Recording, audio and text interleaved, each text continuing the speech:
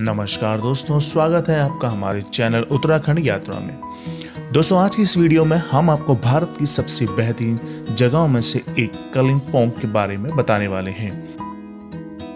समुद्र तल से 1247 मीटर की ऊंचाई पर स्थित कलिम्पोंग भारत की सबसे बेहतरीन जगहों में से एक है।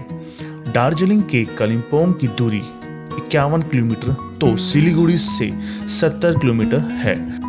अगर आप भी कहीं हॉलिडे प्लान कर रहे हैं तो यह जगह आपके लिए बेस्ट साबित हो सकती है। कालिम्पोंग में कभी कभी बहुत ज़्यादा ठंड होती है।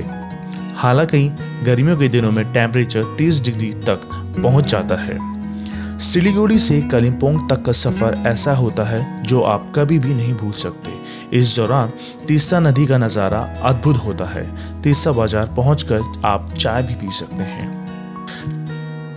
खास बात यह है कि कलिम्पोंग में भारतीय सामानों के अलावा भूटान, सिक्किम, तिब्बत और नेपाल की चीज़ों की भी वैरायटी मिल जाएगी। इस वजह से यहाँ के लोग काफ़ी शॉपिंग भी करते हैं। कालिम्पोंग नेपाल के लोगों के लिए घर जैसा है और यहाँ बुद्धिज्म का भी अहम धार्मिक स्थान है। यहाँ जिस बुद्धिस्ट मोनेस्ट्री का निर्माण किया गया था, उसका नाम तोंगशा गुम्पा है। कालिम्पोंग चर्चित फूल गैलाडोली का बड़ा प्रोडक्शन सेंटर है। यहाँ दुनिया के अलग अलग हिस्सों में एक्सपोर्ट होता है। यहाँ अक्टूबर में हर साल फ्लावर शो होता है। स्प्रिंग सीज़न में यहाँ पहुँचना बेस्ट होता है।